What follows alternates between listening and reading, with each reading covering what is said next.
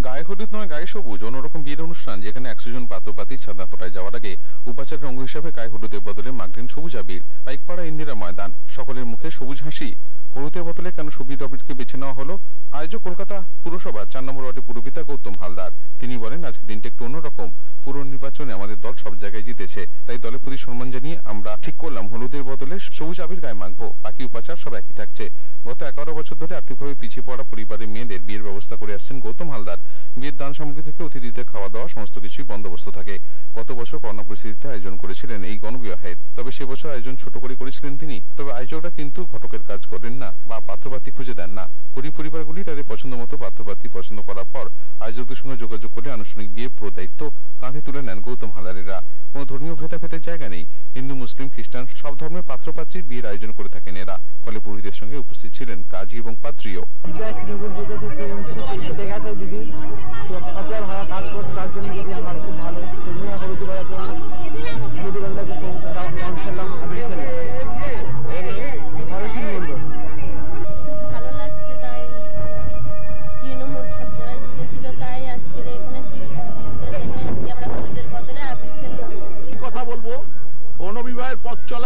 বছর।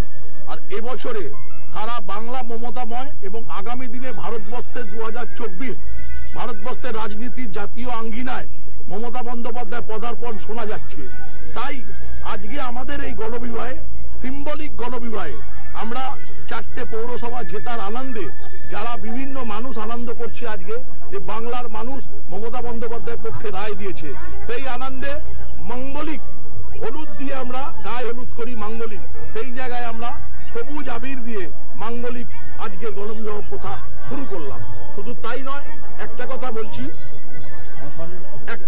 বলছি যে আপনারা একটু ঘুরে দেখবেন আমাদের গণবিবাহে।